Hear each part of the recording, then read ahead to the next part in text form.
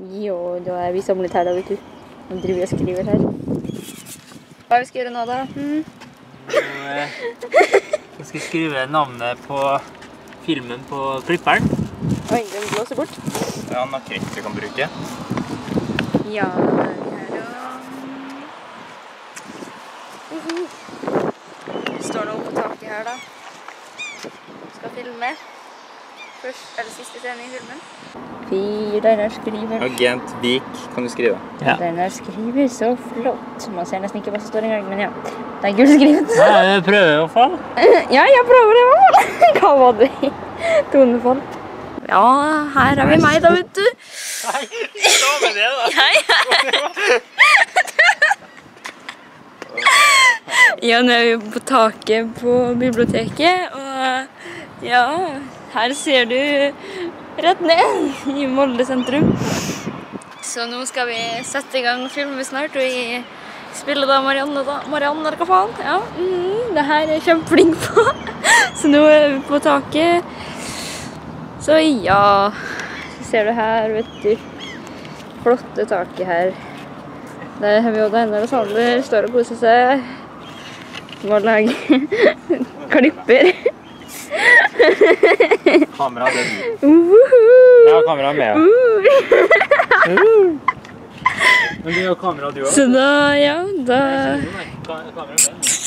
Så la-la-la-la-la. Ja, da er det bakomfilm på Agent Viken. Og den er regissør. Hei. Her er Stine. Hun spiller Marianne. Kan du fortelle om filmen og den her? Ja, det er min første spionfilm. handler om eh, agent Viken, altså Mariann eh, Bergen Viken. Og eh, hun skal fange Norges største skurk, eh, Ludvigsen. Ja.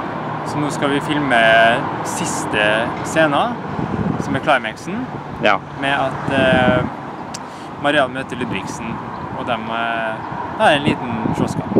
Mm. Så det blir gøy. Og jeg er glad for at vi endelig har begynt nå Ja. med filmen. Jeg venter lenge på det. OK. Mm. Ja. Da setter vi i gang.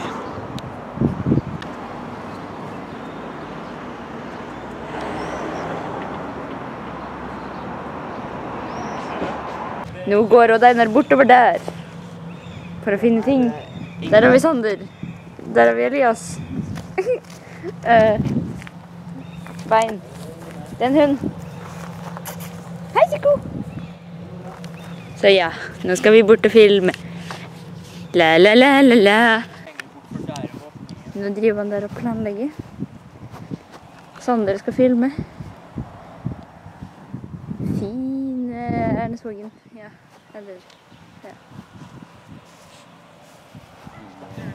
Jeg er her. Ja, Du er der. det er bare Ja, du er der. Jeg har ikke noe Jeg kan ikke Jeg kan noe med den. Du er sjåføren vår. Ja, men utenom det.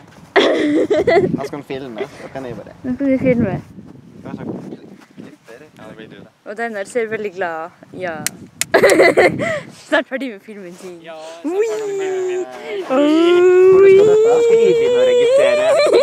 Ja, da er vi ferdig med å filme så mest eh, kompliserte scenene. Altså så vanskeligste scenene. ja beste stuntet med, med regissøren. Ja. Ja. En liten cameo. ja, og nå skal vi filme noen små scener fra Ernesvågen til Havfra overgang eh, etter at de har blitt eh, arrestert. Så det skal vi filme litt grann eh, nå. Ja. Det var veldig artig. Jeg ble tråkka på Nei, på fingrene mine av eh, lillesøstera mi. Det var jo ganske intens scene. Ja. Ja. Men da drar vi nå og filmer så overgangene. ja, jeg skal ta en liten her. Skal jeg. Ja. Ja. Um.